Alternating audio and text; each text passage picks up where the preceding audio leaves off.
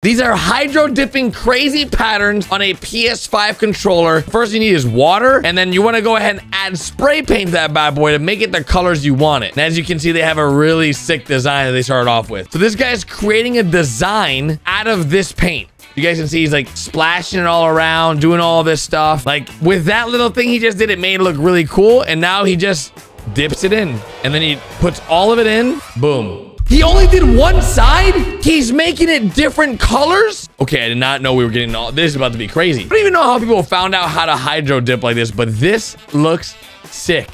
This orange slaps. Bro, Clemson colors. Oh, I feel like this is gonna be sick.